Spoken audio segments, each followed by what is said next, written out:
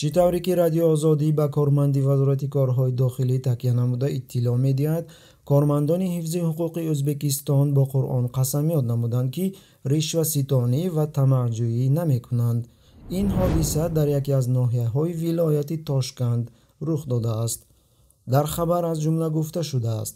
Кормандони милисияи ноҳияи юқори чирчиқ дасташро ба қуръони бо забони ӯзбекӣ тарҷумашуда гузошта қасамёт намудааст ки ӯ ришваситонӣ ва тамақҷӯӣ намекунад.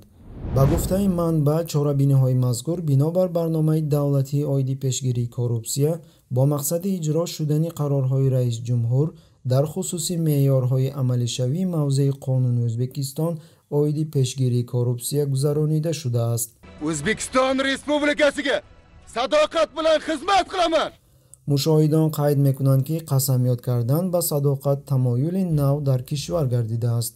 Таи моҳи охир дар сомонаҳои интернетӣ аксунаворҳое нашр гардиданд ки дар он ҳукуматдорон духтурону фермерҳоро маҷбур мекунанд ки ба касбу ҳунари худ содиқ буданд барои пешравии кишвар саҳми худро гузоштан ва бо корҳои ношоиста машғул нашудан қасамёт бикунанд.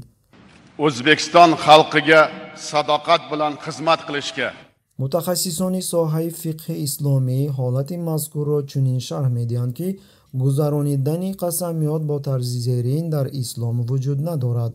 Эҳтимол аст ки қасамёти мазкур ба қасамёти ғарбиҳо шабоҳат дорад яъне бо инҷил қасамёт кардан дар ислом бошад танҳо ба номи аллоҳ қасамёт кардан лозим аст ва ин барои мустаҳкамкунии ягон аҳд карда мешавад. Иброз намуданд мутахассисони соҳаи фиқҳ